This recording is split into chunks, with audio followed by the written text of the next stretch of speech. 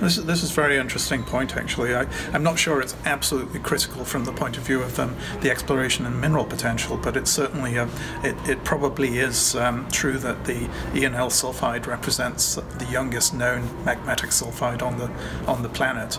The early part of the Eskay Rift was evolving at around about 200 million years ago, when uh, a lot of the Hazelton volcanics were forming, and our early um, age dates based on baddeleyites on the um, ENL intrusion are indicating that the intrusion is part of or close in age to that um, to that event.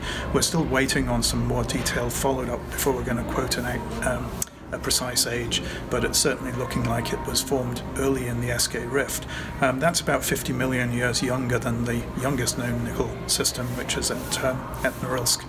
So this is uh, clearly way in ahead the youngest, uh, the youngest nickel deposit on the planet, and probably a few dinosaurs standing in Alberta looking over there going, what, what's going on with the formation of this deposit, which is, uh, puts it in perspective. It wasn't that long ago.